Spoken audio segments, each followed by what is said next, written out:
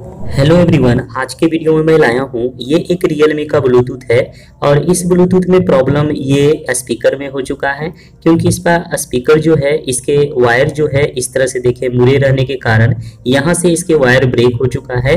जब मैं इस तरह से रोटेट करता हूँ तो यह स्पीकर वर्क करती है। तो मैं आपको यहाँ पर इसे रिपेयर करके दिखाऊँगा। रिपेयर करना बिल्कुल आसान है।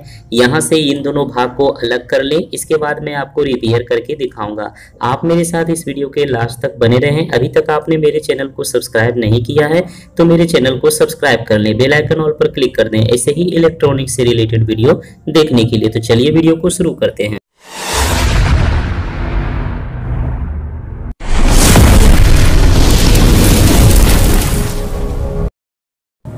तो देख सकते हैं फ्रेंड मैं यहाँ पर इस स्पीकर को अलग करूँगा। इसे अलग करने के लिए आपको एक छोटे से स्क्रू ड्राइवर की हेल्प लेनी होगी। इसी से ये अलग हो जाएगी। बट एक यहाँ पर हॉल करना होगा और इस हॉल करने के बाद ही मैं देखें कि ये टेस्टर की हेल्प से इसे मैं बिल्कुल अलग करूँगा। स्क्रू ड्राइवर की हेल्प से आपको अलग करना होता है। तो मैं इसे बिल्कुल अलग कर लूँगा और जैसे देख सकते हैं कि ये अलग भी हो चुकी है। इस तरह से अलग कर लें। इसके बाद इसमें आपको स्पीकर मिलेगी और साथ में मैग्नेट होती है। तो वो भी आपको देखने को मिलेगा। जैसे ये स्पीकर के दो वायर जो देख रहे हैं तो यही दोनों वायर में प्रॉब्लम है। तो मैं यहाँ पर पहले ये स्पीकर को अलग कर लूँगा डिसोल्डर कर लेता हूँ सोल्डर हीट है।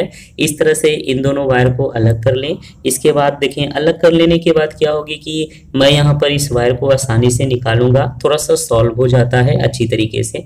तो अब देखें कि ये सारे वायर को मैं यहाँ से निकाल लिया हूँ। और जो वायर जो ब्रेक हो चुकी थी तो उस वायर को आपको कट करके अलग करना होगा। तो देखिए जब मैं वायर को इस तरह से निकालता हूँ तो देख सकते हैं कि ये वायर को पहले मैं यहाँ पर जला करके इसकी थोड़ी सी कंटिन्यूटी में चेक कर लिया था।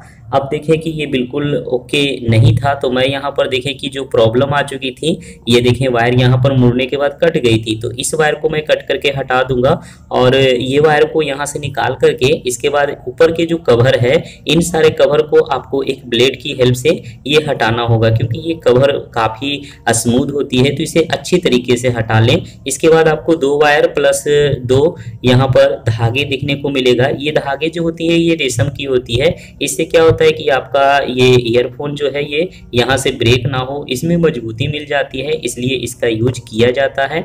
तो अब देखें कि मैं इस हॉल में इसे इन कर लिया हूँ और फिर मैं यहाँ पर इस वायर को जलाऊँगा। तो जलाने के बाद अब देखें कि ये बिल्कुल अच्छी तरीके से हो चुकी है। तो चलिए, अब बारी आई इसके ऊपर के जो भी कवर लगा हुआ है, उसे हटा दिया मैं ब्लेड की हेल्प से। अब मैं यहाँ पर इसमें थोड़ा सा सोल्डर करूँगा। तो पहले मैं ये स्पीकर के जो कनेक्शन जो देख रहे हैं, ये देखें। और यहाँ साइड में जो जिस तरह से खोलने के बाद हो चुकी थी तो उसे में मैं बिल्कुल अच्छे से सेव कर लिया हूँ, ताकि जब मैं इसे बैठाऊँ तो ये अच्छी तरीके से बैठ जाए। थोड़ा सा गेपिंग होगा, क्योंकि रिपेयर होने के बाद जो स्क्रू ड्राइवर की हेल्प से थोड़ी सी घाट टाइप की जो बन जाती है, वो रह जाती है।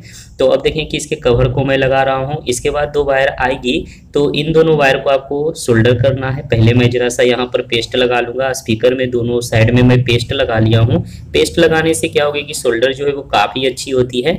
तो पेस्ट लगा लिया। इन दोनों वायर में भी मैं हल्के हल्के पेस्ट लगा लिया। इसे मैं सोल्डर कर दे रहा हूँ। अब ये वायर बिल्कुल ही ओके है।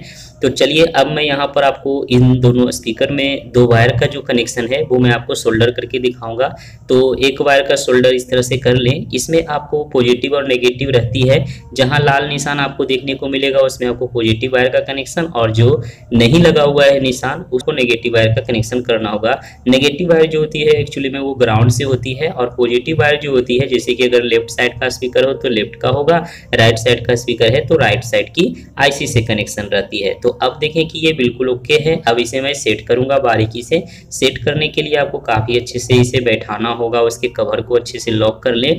कवर में आपको जरा सा साइड में क्लिक मिलेगा, उसे अच्छे से बैठा लें। इसके बाद स्क्रू ड्राइवर की हेल्प से प्रेस कर दें। अब देखें, बिल्कुल ओके है। तो चलिए, अब मैं यहाँ पर ये फेविक्यूब का यूज़ करके इसे चिपका लूँगा, क्योंकि चिपकाना बहुत ही आवश्यक है, नहीं तो फिर ये प्रॉब्लम आ जाएगी। तो अब देखिए, ये बिल्कुल अच्छे से चिपक चुकी है। इसके ऊपर के कैप को भी मैं लगा दूँगा और इसके बाद ये यूज़ करने के लिए बिल्कुल ओके हो चुकी है। ये जो एक ब्लूटूथ है, एक साइड में इसका सेंसर लगा हुआ है और दोनों साइड में मैग्नेट है। तो मैग्नेट से ये क्या होती है कि ये ऑफ़ हो जाती है। तो अब देखें कि इसे मैं जैसे ही चिपकाऊँगा, ये ऑफ़ हो जाएगी और जैसे ही मैं अलग करूँगा, ये ऑन हो जाती है। तो ब्लूटूथ देख सकते हैं सेलफोन में बिल्कुल अच्छे से वर्क कर रहा है। तो देखा फ्रेंड्स किस तरह से मैं इसे रिपेयर किया और ये बिल्कुल ओके हो चुकी है। तो इसी तरह का मैं इलेक्ट्रॉनिक वीडियो लाता हूँ। आप देखें, अगर कोई प्रॉब्लम है तो आप मेरे को कमेंट भी कर सकते हैं। अभी तक के लिए इतना ही। नेक्स्ट वीडियो में मैं कुछ और भी लाऊँगा। तो वीडियो देखने के लिए थैंक यू